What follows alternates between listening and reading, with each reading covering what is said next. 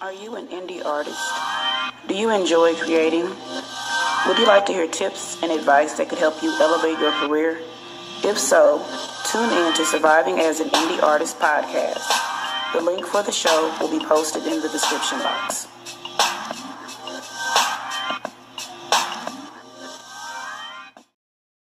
Okay, so first things first, uh, thanks for taking the call with me. I appreciate it, especially considering everything that's going on.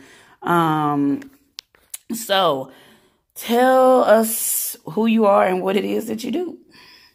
Well, my name is Curt Copeland, and I have been uh, a friend of yours and a fan of yours, and, and I've loved performing and playing with you and being around you for, uh, I, I was just going to say, what, about five years, if that seems Yeah, about right? yeah, And, um, and you know, and, and obviously we we both have busy lives, and, and we don't get to hang out as much as we used to yeah, um, when we first met. But but you know, I, I God willing, if we get to we get to stay uh, at it um, with things being the way they are, um, you know, I hope that um, we, we do that. Um, I agree. but yeah, it's yeah. I, I mean, I'm a, I'm a musician. Uh, I host uh, open mics when when things are open, and uh, um, yeah, and so it, it's just I'm a big fan and a big supporter of anything you got going on, whether it's personally or professionally or whatever. Oh, thanks, Curt. I appreciate that. I feel the same way um, about you. Like you said, life just, you know, unfortunately, time gets shorter as you get older. That's what it seems like.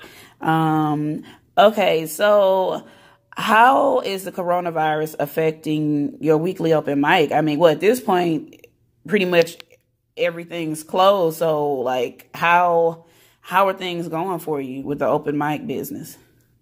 Yeah, they're all canceled. They're all, uh, at the very least, you know, off uh, for the time being. Um, and it's just, uh, it's the most frightening thing that I've ever been involved in, as it's ever happened in my life, um, Hmm. ever. And I, I'm not going to sugarcoat it for you or, or anybody. I'm not going to, Yeah. you know, I don't think it's wise to be dishonest or, or Yeah. even like that. But you know, this is just this is terrible. No matter even if even this that it's that it's if it's if it turns out you know okay, you know, like um, it's still going to be terrible at, at its at Yeah. best. Yeah. Yeah. Um, ooh, you said a mouthful. I really describe how I feel because I've never felt this way before. Um, so let's, let's look at the next question. Um, what do you plan on doing while your gigs are postponed?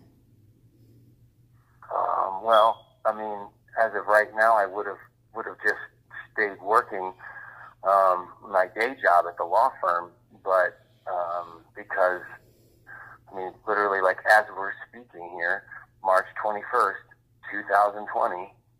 You know, the city of St. Louis is about to be shut down. Mm, You know, and Yeah. so I'm at the conclusion of this interview. I will be going home and packing my jeep with supplies and driving up to Minnesota for the duration of whatever this what will ultimately be a national lockdown mm, um, or a lockdown in cities. yeah. Yeah. Um, and I'll ride that out with my parents and my family. Um, and, and at the worst, if it is the beginning of the end, or what I'd like to think of the beginning of, of a new beginning, yeah. um, you know, in God's grace, um, uh, and then at least I'll be with my family. I think it's wise for people if you have family or friends or somebody you can call on at this time. It's probably a good idea to call call your people, and you don't necessarily want to be alone. Well, some people may, you know, it's those people out there, but for the people that would like comfort, I would definitely recommend being close to your people at this point. Um, let's see. Um, what have you been doing to take your mind off of everything?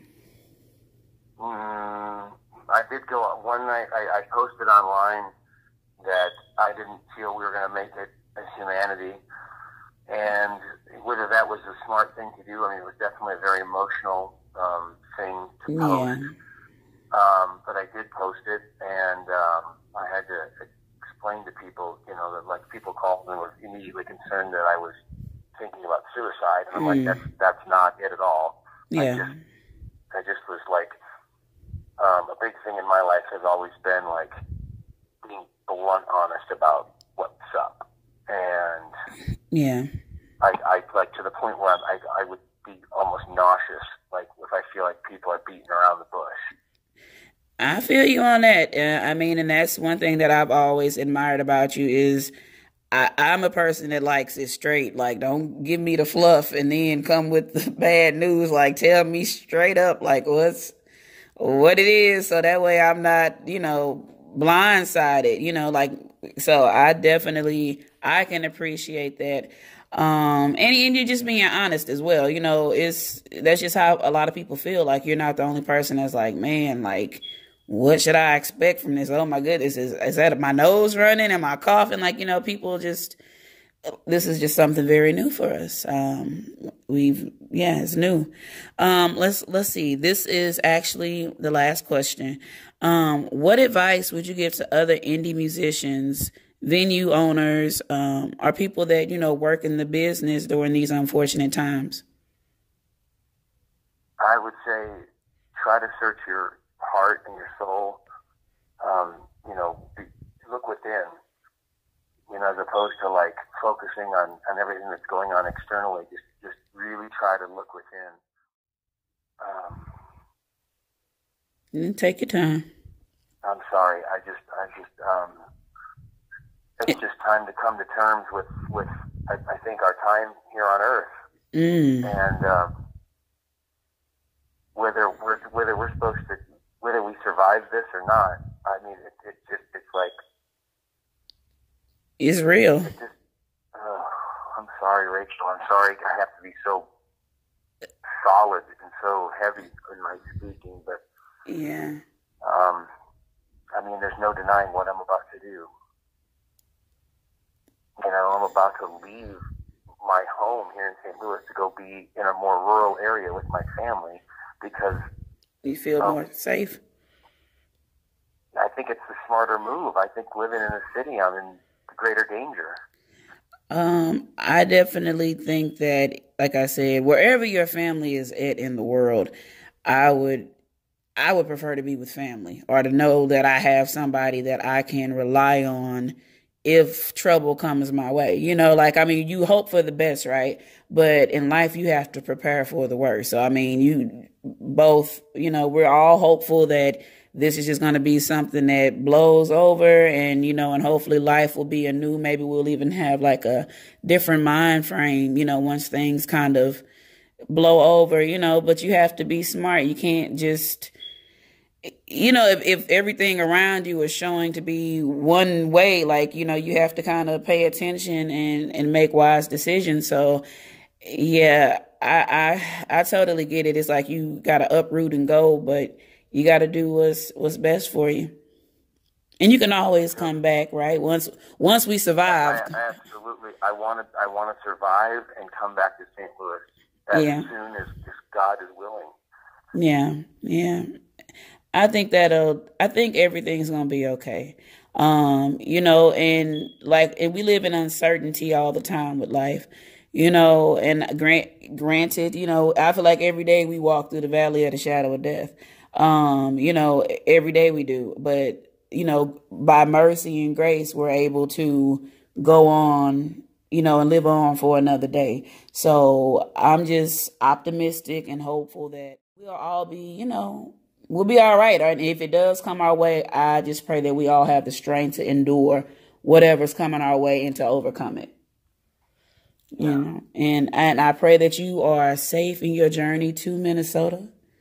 Um safe travels. Everything's gonna be okay. Try to listen to some peaceful things. That's that's what i've been doing trying to like just surround myself with peaceful sounds and you know affirmations. Just anything that can take my mind off of what's before us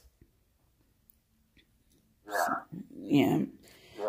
well Thank you. Thank you so much, Raye. no thank you i appreciate you um calling and talking and like i said i think this can really you know, hopefully it helped calm your nerve and hopefully it can help, you know, calm somebody else's nerves that maybe like just, you know, on edge because a lot of people are on edge right now.